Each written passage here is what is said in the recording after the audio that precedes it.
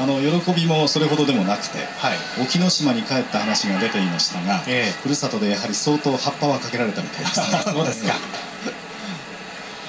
いやーでもそれはそうでしょうね。まずは序盤ですから、え勝っても浮かれないようにっていう思いもあるんでしょうしね。えそうですね、えまあでもやっぱり沖ノ島の一心にかけて、はい。沖の海頑張ってほしいですね。そうですね。え土俵上は高安と商天堂です高安2連勝。過去両者の対戦は2対2です。モンゴル国土県出身藤島部屋。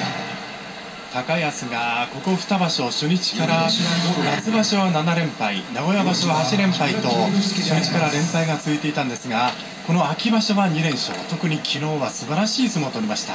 昨日の相撲を振り返ります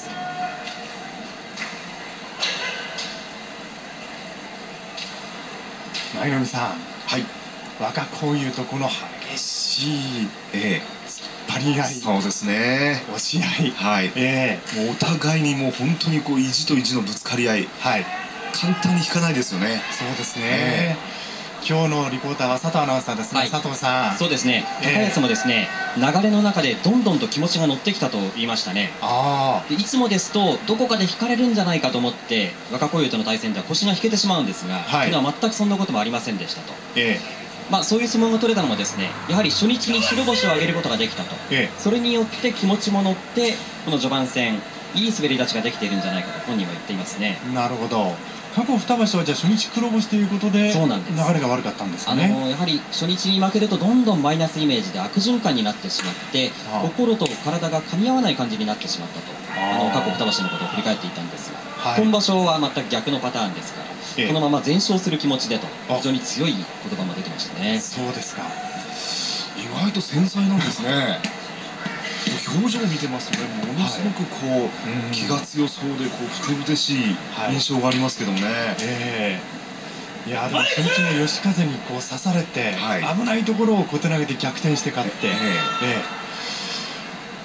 まあやはりそうなんですね。一つの流れによって場所の前半戦が決まってくるんですねまあ商天堂も今黒星2つ。商天堂もどちらかというとその一つの流れで黒星がずっと続いたり、はい。あるいは連勝しだすとずっと連勝したりとええ。いうタイプなんですよね、はい。そうなるとこう3日目にまず連敗の流れを商天堂としても止めたいところです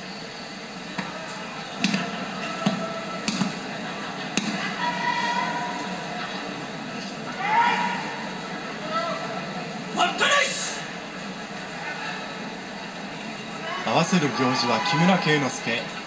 両者に待ったなしを告げました。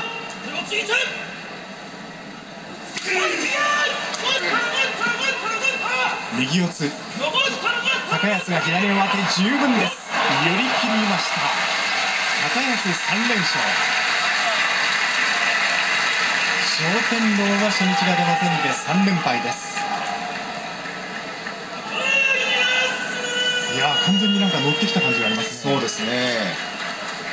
ただいまの帰宅は今日の商天堂の立ち合いの当たり突っ張りを問題にしませんでしたね。そうですね、え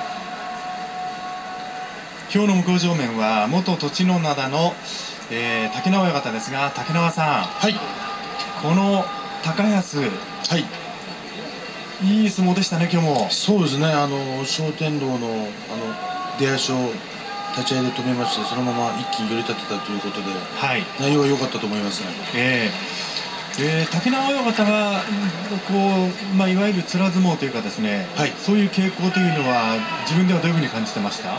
ま現役時代です。そうですね、もう自分の場合は、ま、負け出したらあのなかなか止まらなかったので、え。なんとか一番あのしがみついてでも勝ってやろうという気持ちでええ。やってましたね。ああやっぱりその悪い流れが来るとそれ止めるってのは難しいんですかね。そうですね、あの一日一番ということなんですけども、はい。それが苦労がずっと続けば、もう自分でもあれやったらダメだ、これやったらダメだというふうになってですね、ええ。いろんなこと考えてしまいましたね。いろんなこと考えますか。はい。ああ。高安明日は雅山戦商天堂は明日は若子